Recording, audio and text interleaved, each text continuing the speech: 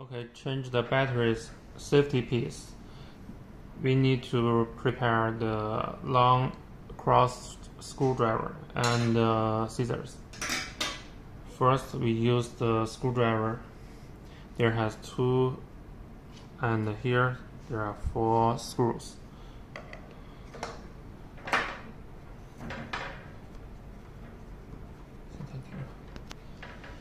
Okay, now we loosen these four screws.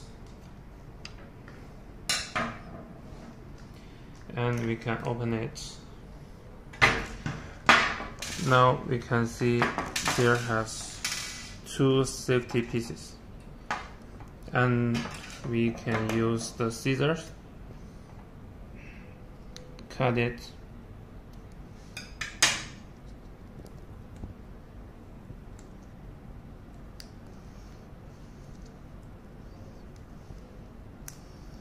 and take it out.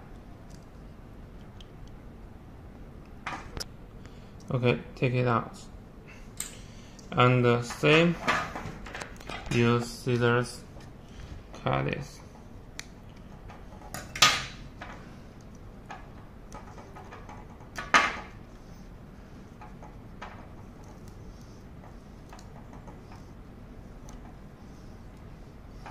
And take it out.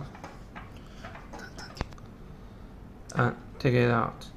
And when we uh, need to change this you need to see the right line. The big one is the white.